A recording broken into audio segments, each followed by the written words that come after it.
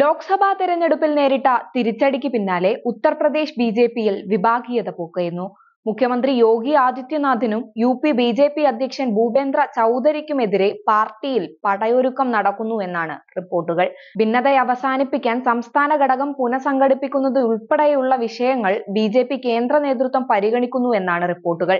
ലോക്സഭാ തെരഞ്ഞെടുപ്പിൽ പ്രതീക്ഷിച്ച മുന്നേറ്റം നേടാൻ കഴിയാത്തതിന്റെ ഉത്തരവാദിത്വം ഏറ്റെടുത്ത് രാജിവെക്കാനുള്ള സന്നദ്ധത U P B J P അധ്യക്ഷൻ ഭൂപേന്ദ്ര ചൗധരി പ്രധാനമന്ത്രി നരേന്ദ്രമോദിയെയും അമിത്ഷായെയും അറിയിച്ചിട്ടുണ്ട്.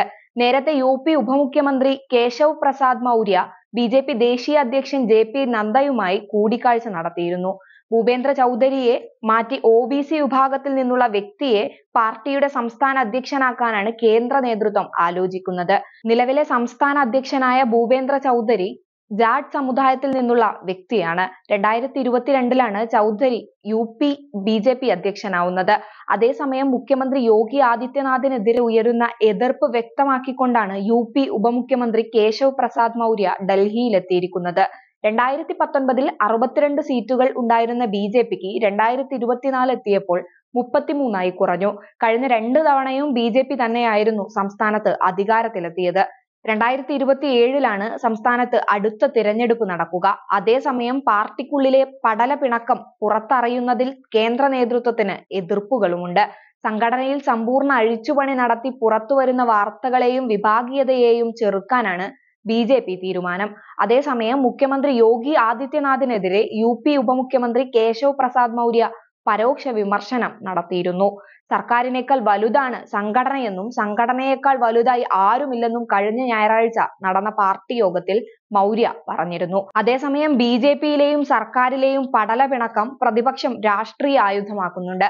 സർക്കാരിനുള്ളിലെ ചേരിതിരവ് മൂലം സംസ്ഥാനത്തെ ജനങ്ങൾ ദുരിതം അനുഭവിക്കുകയാണെന്ന് സമാജ്വാദി പാർട്ടി അധ്യക്ഷൻ അഖിലേഷ് യാദവ് പറഞ്ഞു. ബി ജെ പി നേതാക്കൾ പരസ്പരം പോരടിക്കുകയാണെന്നും അഴിമതിയെക്കുറിച്ച് ജനങ്ങൾ അറിയാമെന്നും അദ്ദേഹം കൂട്ടിച്ചേർത്തു. പാർട്ടിയിൽ ആഭ്യന്തര കലഹമുണ്ടെന്ന ആരോപണം ബി ജെ പി തള്ളിക്കളഞ്ഞിട്ടുണ്ട്.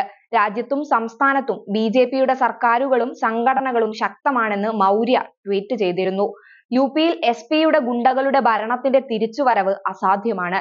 രണ്ടായിരത്തി ഇരുപത്തിയേഴിലെ സംസ്ഥാന തെരഞ്ഞെടുപ്പിൽ ബി ജെ പി രണ്ടായിരത്തി പതിനേഴ് ആവർത്തിക്കും എന്നായിരുന്നു മൗര്യയുടെ പ്രതികരണം.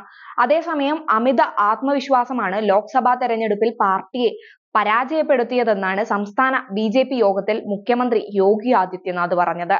രണ്ടായിരത്തി പതിനാല് മുതലുള്ള തെരഞ്ഞെടുപ്പുകളിൽ ബി ജെ പിക്ക് ലഭിച്ച അതേ ശതമാനം വോട്ടുകൾ ലഭിച്ചിട്ടുണ്ടെന്നും എന്നാൽ വോട്ടുകളുടെ വ്യതിയാനവും അമിത ആത്മവിശ്വാസവുമാണ് തെരഞ്ഞെടുപ്പിൽ തിരിച്ചടി നേരിടാൻ കാരണമെന്നും യോഗി ആദിത്യനാഥ് കൂട്ടിച്ചേർത്തു.